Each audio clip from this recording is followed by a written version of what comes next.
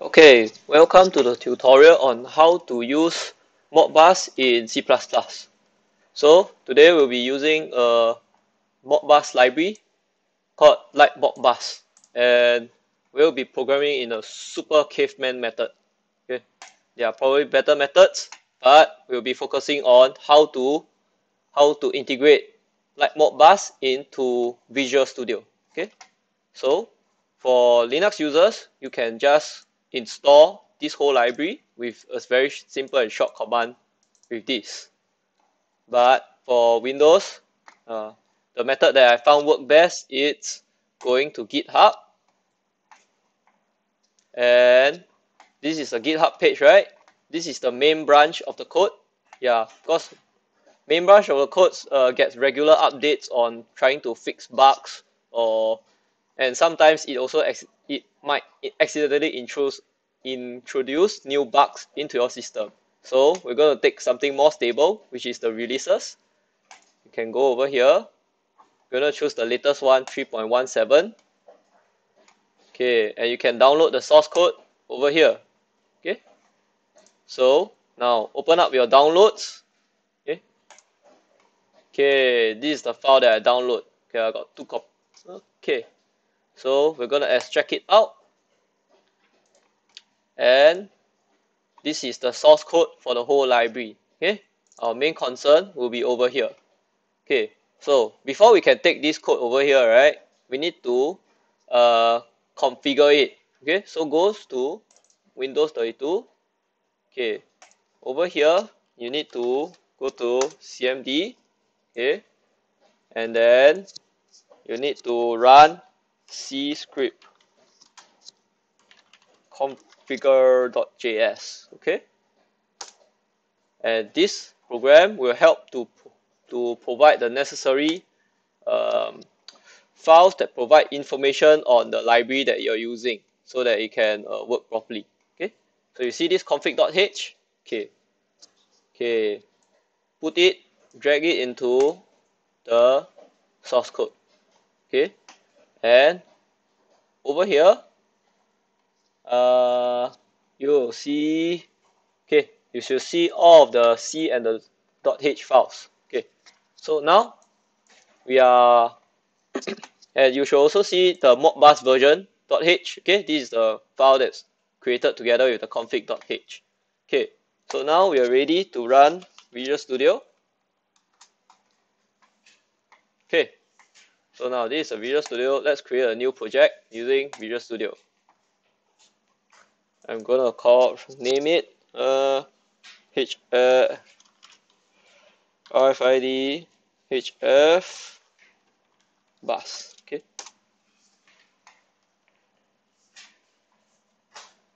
Okay, make sure you call create. So once you're done creating your C++ console app, we're gonna run it okay just to make sure everything is correct. Hello world! Yeah. So so at least uh at least most most of this has been created successfully. Okay. So now we're to populate the solution tree with the necessary files. So that you can tell it uh, where you can look for files. And okay. So we're to firstly we're to open the repository where you save all of your info. So this is a repository you see the name of the new project I created? Go in. Go in one more time. Okay over here I'm going to create a folder to store all of my light modbus files okay? So that it will not be mixed with my the files that I created. Okay so go on over here. Okay take note. Okay. Now copy all the .c and the .h files. Okay, copy and paste. And then go back in the file that you downloaded, right? Go back one step. You will find a very important, oh no, not go back, sorry. Go forward, Win32, you'll find modbus.rc, okay? So, need to go out. Okay and then pull modbus rc into the uh, main page okay? Okay. And then that's about all. So now let's go back to our project. Okay. So now we need to run we need to include all of the .c files into the source file. Okay. And then you include all the .h files into the header files. And lastly just now the .rc file pull it into the resource files. Okay. So now even though you uh, drag the files into the whole solution tree right? It only makes things easier for you to open over here okay? You have not really told the whole program where to find the stuff. So now we're going to do the necessary configuration to tell the Visual Studio where to find the different folders okay? So now okay. So firstly we are gonna go to wait let me drag my notes in. Okay so firstly we are going to go C++ we need to include directories okay? So we need to tell it where did you keep. Remember we keep all the modbus files in the special folder? Okay we need to tell it where you keep it okay? Because because it's not in the usual place outside with everyone else okay. So now and then you go to resource. You also have to tell the resource where to find the include directories. Okay? So it's the same. Create a new folder like modbus okay? Okay. So now next step we need to include the preprocessor libraries so these are necessary for you to compile properly without any errors. So go to preprocessor definition edit and copy the thing in okay? If you don't compile with this you get a lot of warnings. You get a lot of errors. Uh, they will stop you from it. Lastly you need to add this thing into your linker okay so in linker you need to go to additional input uh, your additional dependencies. Edit. Add this in. Okay. So that's about all. And lastly we need to go and configure our mod hi yeah. Okay never mind. I think once I build it once it should be okay let's run it. No. Oh you can't find a config.h oh what to do? Let me see my config.h uh -huh. oh okay. I think I know. Okay so over here we need to we need to include our modbus.h and then uh, what's what's next? Hmm. See how cannot open modbus.h okay.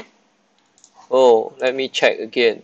Maybe I didn't do it properly. Okay thing you need to change the top right to x64 I want to compile it in the x64 environment which is similar to which is basically compiling for your 64-bit machine okay? Uh, okay. Because just now all the configuration right we we are we made it for x64 okay? So you only look for yeah you, all this configuration is only for x uh for your x64 configuration. If you change it to 86 it will go to 86 configuration okay? So now is the last thing you need to do. Because our modbus version H it's somewhere else right? Okay? It is actually in the directory that it's one step okay? Away from our modbus.rc okay? It's inside one more step in one more file inside okay? So it's not outside like where you copy it from. So delete this. Now run. And hello world. Yeah. Okay so at least your base code your compiling has no issues. So now we're to add some code okay to make it run properly okay? So for now. Okay I think some of you might want to uh, okay for because our modbus.h files right it's actually a C file. So some of you might think might have issues with this the compiling. So you can just extern C to tell it you're actually compiling .dot .c files okay? This is how you tell the this is how you tell the process preprocessor you're compiling .c files. Oh okay. hmm. Okay let's see ah. It may or may not be necessary for different computers but at least uh, it's not necessary for mine okay but to avoid problem we will just tell the system I'm using .c files okay so now I'm going to add I'm going to do some modbus test I'm going to add some code to test my modbus okay so I'm adding I'm adding the uh, simple code for reading a Modbus register at the address 1A. So Y1A. Okay, so I'm gonna I hooked up my device right to uh to a random device that I have. Okay, let's see and according to the Modbus memory map all the data is stored in the address 1A okay so oh yeah I can show you I can show it over here. So by connecting it to the device I can read whatever device here. So sometimes this actually represents I'm actually connecting it to a RFID uh, tag head. So this represents which tag head is actually reading the information. Okay? Hmm I should add a camera in. Let me add a camera in. Okay I think I you should be able to see the camera. Okay. Uh, what I'm using is a uh, let's see. What I'm I'm actually using a RFID module reader module keyband S2 RFID over here. Okay. And and in front of me I is connected to two RFID read heads okay? That's uh uh how to say ah that's in a high frequency bus mode. So basically all the all the mem eh, all the details of the RFID uh can be all the RFID can be connected serially uh, but all the data will be trans transmitted to the RFID module uh, in just one line so uh, and according to the documentation you can see that the Modbus TCP IP where I can find if the attack is present uh, it's over here. It's stored in register 0A okay? Which is why you can see from my code okay? I'm reading okay. Let's see. I'm reading reading register from address A length of one and I'm storing it to tag present. Okay? Okay. So then next I'm gonna add other extra code. Okay uh, I will share it. Okay okay hopefully the so if you want you can just copy over here or I'll be sharing the code with you upon request. Okay? So now once all the thing is ready right? Let's run the code. Ah okay no problem. Okay never mind. Let me stop the code. Okay I'm gonna show you the proper demonstration okay. Uh and using a Modbus reading software Modbus Pro okay? So over here just now you can see right? In this in register A if I put a tag at the first read head the number is 1 if I put a tag at read head 2 the number will be 2 okay? Uh, the sorry okay the number won't be 2 uh, it will be shown as uh, okay.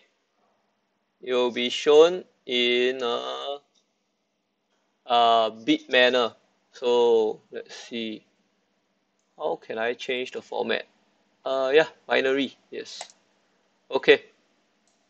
So yeah so it corresponds to a bit. First read head the first bit will turn on and then the second read head the second bit will turn on. Okay? So now if I take away the bit goes away. Okay? So now this is the correct one. Let me disconnect this program. And then if we run the C program so gotta check what what is the tag uh where is the tag present at? Zero means nowhere. Okay zero means nowhere I'm gonna put it at the second read head. Okay.